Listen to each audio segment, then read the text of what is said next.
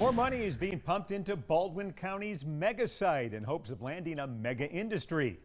A $5.5 million state grant will be used to build a rail spur to the CSX main line. It's the latest improvement to the 3,000 acre site near Bay Minette, all in hopes of attracting a mega industry like an Airbus or a Hyundai to Baldwin County the you know average of 1,500 jobs, you know half a billion dollars of capital investment has been our average project that we've seen out here. Look at the site, and so for that, I mean, when you talk about those kind of numbers, the payroll that comes along with those jobs, I mean that that has the the greatest upside, the greatest uh, opportunity for us to create a large economic impact, not only for Baldwin County, but for for really all of South Alabama. Previous improvements at the site include a helipad, construction of a rail bed, and the grading of 200 acres for a million square foot building pad. Work on the new rail spur will begin in the next couple of months.